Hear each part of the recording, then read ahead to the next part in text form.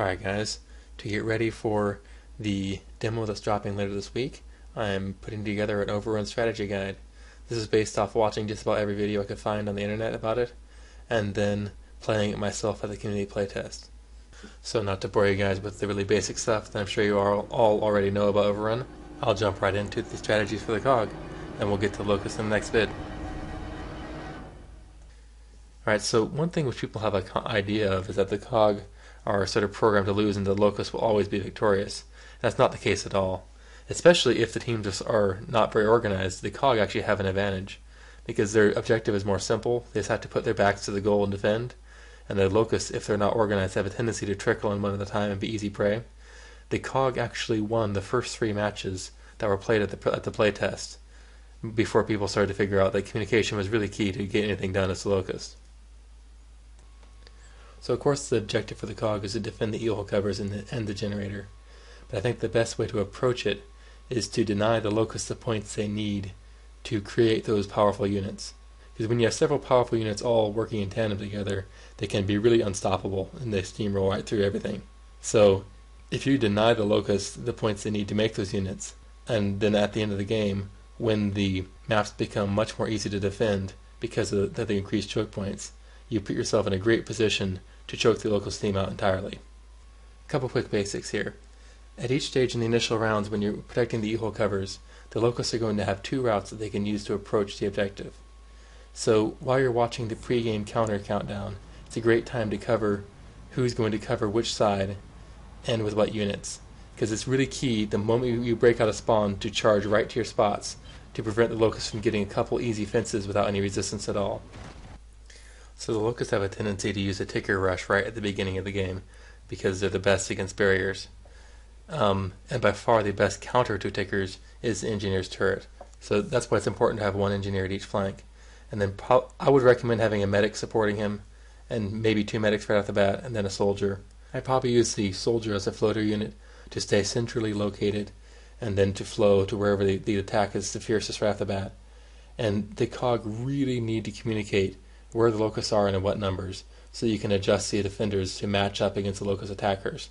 And it, it, you're really wasting resources if you're playing three on one on one spot and then allowing two guys to get hit by four locusts on the other flank. That, that's how you lose fences quick and let the locusts into the, into the e-hole cover area. Okay, so as an engineer, obviously you need to stay close to the barriers because you repair them. And remember that a well-timed turret can wipe out an entire ticker horde. And those turrets are completely beast they put out a ton of fire, are really effective, and they, they do recharge quickly, so don't be afraid to use them. And of course, remember that you have a Gnasher shotgun, and that the engineer is really one of the best flankers there is on the COG team, capable of coming behind the locust and just tearing them up. They have a tendency, at least I found, to get sort of bunched up on barriers and all be looking in. And if you can get outside the barrier and come up behind them, you can really mess up the locust team with a well-timed flank. And especially if you have your medic throw a, stim grenade right at you as as you're about to make contact on your flank route. So communication with your medic is essential because you obviously need a stim grenade whenever you are repairing a barrier or whenever you're about to push the locust. And one thing you need to be aware of as the engineer is that you are very vulnerable while you're repairing barriers to enemy grenades because the, the grenadier knows right where to throw it and it's a one-hit kill even if you're standing in a stim cloud. So the medic is actually a really effective unit because it has both the Lancer uh, rifle and the, the sawed-off shotgun. But the sawed-off only starts with two bullets in it. It's a two in the chamber and then you're done. So you really need to ask for ammunition early and often to get that gun stocked up because the medic plays so much better when she can dart in, get a couple jibs, and roll out and provide cover fire again. And when you're playing as a medic, you really need to pay attention to your teammates and listen to their callouts whenever they need help because it's much better to throw a stim grenade, keep them alive, than to let them go down and give the locusts 175 points for the kill and then revive them. And of course, you want to have that communication to where your, your engineers are repairing with healing cover and that people call out pushes. And so you make those pushes with stim grenade cover.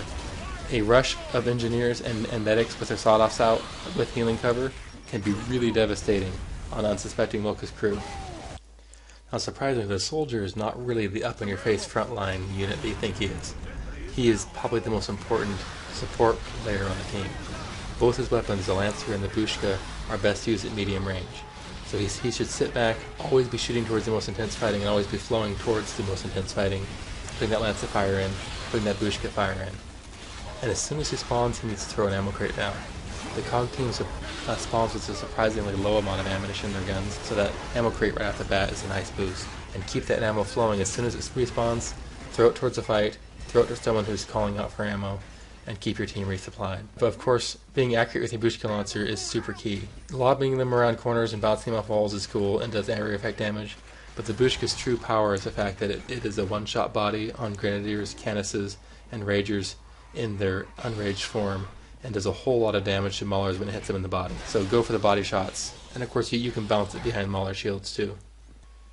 So the Scout's probably best to bring him out like on the second E-hole, just because his ability of the beacon grenade that debuffs the locust is most effective on the heavier units. And I wasn't a really good scout, but I know that they, a good scout needs to need to take a vantage point where he can cover both entrances, uh, and always be shooting at people who are already fighting, because if they're damaged, you can get that one-shot head pop on them, like, like you can with the Boltok pistol. And the scout was also really key for taking out the kantuses on the enemy pushes, because you can hit right at the at the end of the line, and kantuses are pretty vulnerable to the Markza uh, while they're trying to heal the heavies or whatever is in front of them. That's one of the great ways to shut down a Locust Push is to take out the Kantus so you can take out the rest of them. So just some general keys for playing with the COG.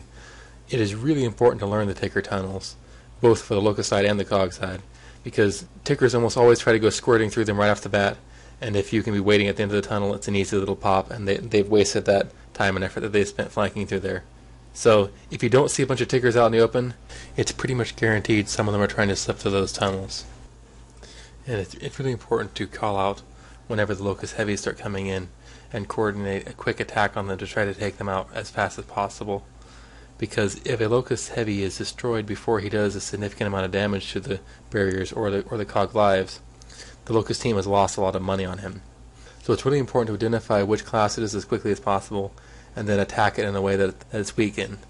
Like if, for instance, the enemy is pushing with some maulers backed up by a kantus, the soldier and the scout need to really focus on trying to pop that that kantus's head or hit him with a booshka, so that the maulers are vulnerable to damage. And then you you'd want to hit the the maulers up close with with your engineer or or medic to to make them turn towards them. And the moment they turn and you get the side shot from the soldier, that's when you when you pile those booshkas in. Or if the Maulers are being really cautious and slow, you, you have time to lob the Booshkas underneath the shield and, and get get the area effect damage there, that way too. So the unit which is most important to get the team fire jump on is the Corpser, because it's by far the most valuable locus unit. I think it's about 5,000 points.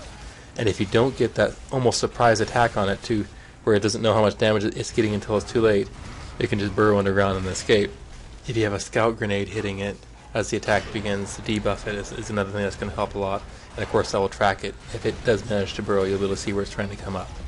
And of course, if you, if you can deprive the locust team of their of their corpser before it's done too much damage, it's a great way to bleed away their points.